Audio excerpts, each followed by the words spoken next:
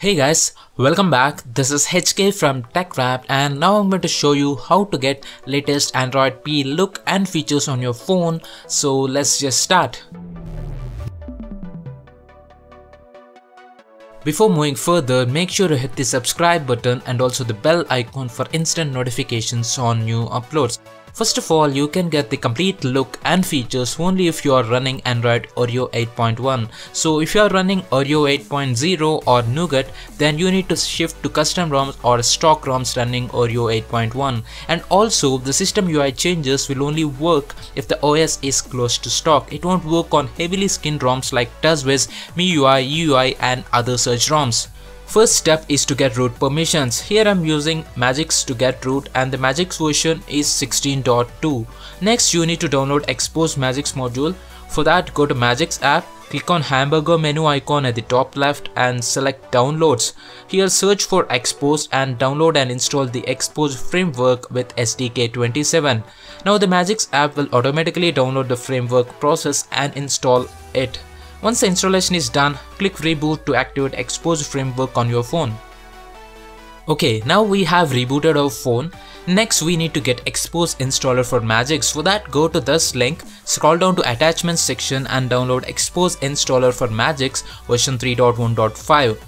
Once the download is complete, install it as normal APK and open the Xposed installer app. If you are getting an error like Xposed is installed but not active, select install or update and pick install via recovery, download the module and reboot to recovery to finish the installation. Now we have rebooted our phone again and as you can see Xposed framework is active now. Next you need to download Android P-ify APK and install it as normal app. After installing you will get a pop-up stating that this module is not active. Clicking on it will take you to the module section from Xposed installer app. Select Android P-ify there and do a soft or hard reboot.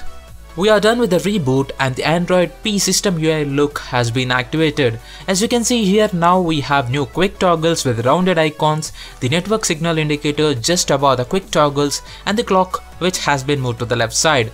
There is also a small separator here now between quick toggles and notification panel the notification panel also got a slightly revamped design. It's not that much noticeable, but there is a change. Another UI change is with respect to the settings panel, which got this rounded color icon design too. And as you can see, it does look cool, but it is a lot similar to the Flux theme, so it is not a completely new design. And the new app transitions are kinda cool too.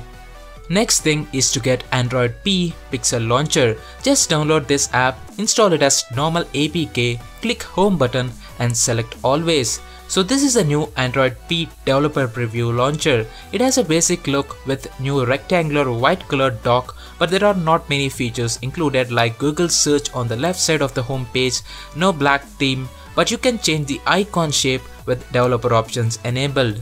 Next is Android P Media Controls. To get these you just need to install this app from the Play Store. It is paid app which just costs 20 rupees and you can get this app from Play Store or from XDA Labs. After installing it, open the app, click OK and give it do not disturb access and that's it. So this is the new Android P volume toggle and you can control volume of media within notification panel. Now we have new volume toggles just below the usual quick toggles and you can control ring volume, notification volume, media volume, in-call volume and even Bluetooth audio volume separately.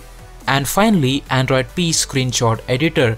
This app is called Google Markup and installation process is same as previously mentioned apps you just need to download the APK and install it. After that take a screenshot, go to the notification panel, slide down on the screenshot, click on the share button and select markup. Now the screenshot will open in the editor app and here you can draw or write something on the screenshot or any other image and there are two kinds of brushes one for thin lines and the other for thick transparent lines.